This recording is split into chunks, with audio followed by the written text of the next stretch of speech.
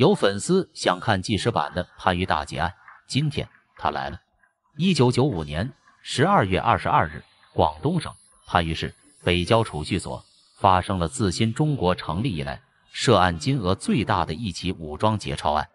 从长远角度出发，此案带来的影响力大于当下。它为北京的白宝山、湖南的张军、武汉的马汉卿等一系列悍匪打开了新世界的大门。此时，他们才知道，原来除了小偷小摸、拦路抢劫以外，钱还可以这么赚。十二月二十二日上午七点二十五分，是农行运钞车如往常一样，缓缓地停在了银行门口。三名女营业员正准备上前取款，正在此时，从一旁的小巷里闪出了五个男人，五人将运钞车团团围住。紧接着，枪声便如爆豆般响起。两分钟后。再将两名警警打伤，一名警警拖到运钞车上，抢夺来两名警警的手枪后，五人将运钞车开走了。车上装有人民币一千三百二十万元、港币二百四十一万元。广东警方接到报案后，立刻采取行动，仅用时十三分钟便封锁了番禺市各大路口。按照时间推断，几人肯定被堵在了番禺。但奇怪的是，几人连同运钞车就好似人间蒸发了一样。苦寻无果，为了确保万无一失，随后警方又在珠江三角洲一带设卡堵截，但结果依旧。隔天，十二月二十三日，警方在伦教镇一处废旧的仓库旁找到了被开走的运钞车，在副驾驶，警方首先看到了被劫持的经警郭景昌，其身中四枪，已经停止了呼吸。随后，在后备箱，警方又找到了十四个丢失的钱箱，其中。八个钱箱已经被打开了，还有六个未被撬开，上有人民币一百六十七万元、港币三十三万元，这些都是在意料之中的。意料之外的是，在副驾驶的座位上，警方发现了一把五四式手枪，枪上有编号，这为接下来的破案起到了一锤定音的效果。经查明，此枪来自清远县某银行。顺藤摸瓜，第一个嫌疑人出现了，何永新，二十七岁。该银行职工曾在深圳某武警支队服役，此人豪赌成性，透支银行数万元。案发前外出后，至今下落不明。与其一同下落不明的，还有他保管的五把五四式手枪，其中一把就是警方在运钞车上发现的那一把。围绕何永新展开调查，不多时，另外四名案犯的身份也明确了，他们分别是何伟光，二十五岁，广东阳山县人。人送外号“鬼马师爷”。事发前两个月，他就曾在清远县策划并实施了一次银行抢劫案，抢走人民币十五万元、港币六点八万元。吴兆全，二十四岁，广西藤县人，曾在广西柳州驻军某部队服役。袁长荣，二十五岁，广西阳山县青莲镇人，当过兵。何东海，二十六岁，广东阳山县青莲镇人。几名案犯的身份明确了，接下来就是抓捕。也正在此时，警方终于找到了几人人间蒸发的原因。原来他们是压根就没有选择走陆路。案发两分钟后，在警方的包围圈还没有形成之前，他们便逃离了番禺，直奔乌江渡口。在乌江渡口，他们坐上了在此等候的货船。这是警方没有想到的，难怪了。咁样佢哋系点样样坐上你嗰个船嘅咧？誒知啊，啊点样坐上你嗰个船嘅？系唔知有人联系到嘅，我唔知咩。船行驶到了青莲县码头，袁长荣和何东海在此下了船，回了家。另外三人在何伟光的带领下，首先回到了他阳山县的老家。他们找了一个大货车，又购买了两百箱饼干，以饼干做掩护，将赃款夹藏在其中，顺利的瞒过了检查的干警。在接下来的几天，他们一路南下，旋转跳跃，最后在广西藤县太平镇落了脚。这里是吴兆全的老家。几人前脚刚走，后脚警方便追了过来。通过询问船主以及车主，警方基本上明确了几人的踪迹。首先是吴兆全，他是我认为最亏的一个人。他是一毛钱都没花，一个井都没钻，就被警方抓到了。在其家中。警方起获了四支五四式手枪以及人民币五百多万。事后，据吴兆全交代，在将赃款掩藏好后，何永新、何伟光两人便心心念念着要钻井。临走之前，他们扬言要钻遍广西。当下大概率还在广西。专案组得知这一重要情报后，立刻致电广西公安厅协助调查。说是迟，那是快。隔天，广西公安厅便部署了在两江沿线的梧州、藤县、平南、桂平、贵港的查控工作。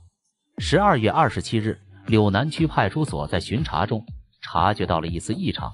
位于飞鹅路的南天大厦有一个姓赖的人，持广州清远县身份证包住了六零九客房。与他同住的还有另外两个人。抱着不放过任何一丝可能的机会，指挥部立刻调集特警，组成抓捕小组。次日凌晨四点，抓捕行动正式开始。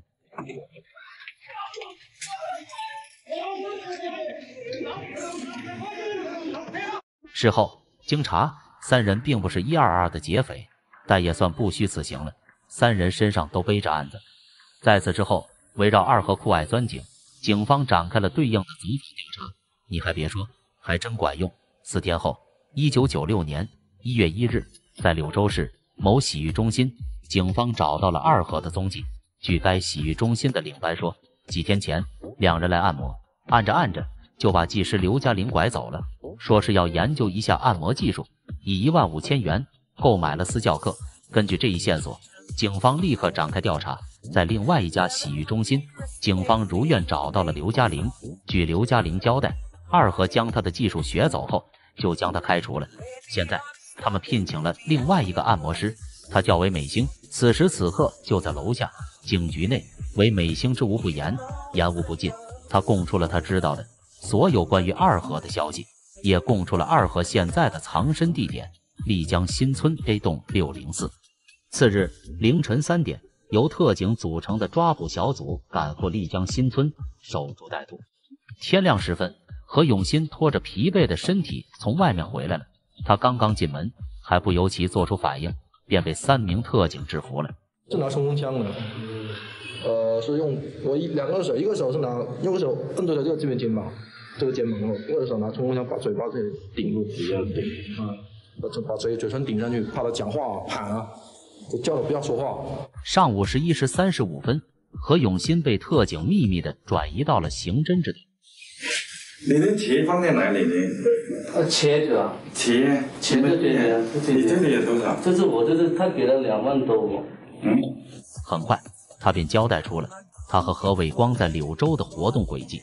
原来早在两天前，两人便已经转移了。此事两个按摩女并不知道。起因是疑多多疑的何伟光发现两个按摩女动过他的包，他偷偷的带着何永新又租了一个新房子。何永新来丽江新村是瞒着何伟光偷偷来的，他的初心应该是想故地重游。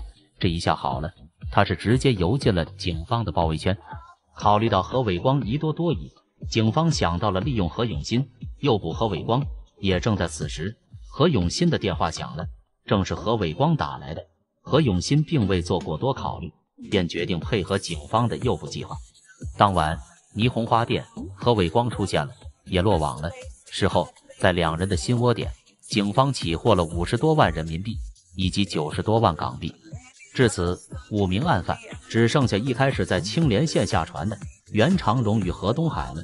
多方抓捕小组汇集青莲县，通过多方面消息的汇总，警方得知袁和两人在家短暂停留后，则带一名女子前往了距离清远市有三个小时水路的新坡村。考虑到两人随身携带了两支五四式手枪。经过商议，警方决定必要的时候可以采取强制手段击毙嫌疑人。一九九六年一月五日，由一百多名特警、武警组成的抓捕小组，先乘车来到了青莲镇，随后从青莲镇乘船来到了新坡村。为防止两人逃脱，警方下达了封航通知。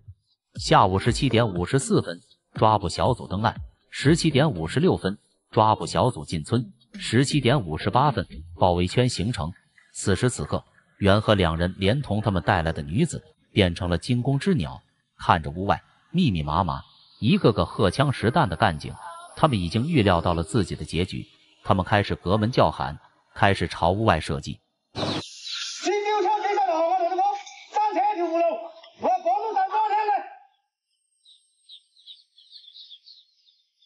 刘枪给手投降。一个多小时后，袁和两人的心理防线崩塌了，他们没有自杀的勇气，他们就好似搁浅的鱼，任由警方给他们戴上了手铐。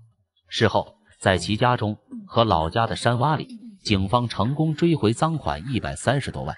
至此，参与一二二二番禺大劫案的五名案犯均落入法网。那么问题来了，枪是谁丢的？是吴兆全。事后他只分到了一万块钱，也难怪他不去钻井。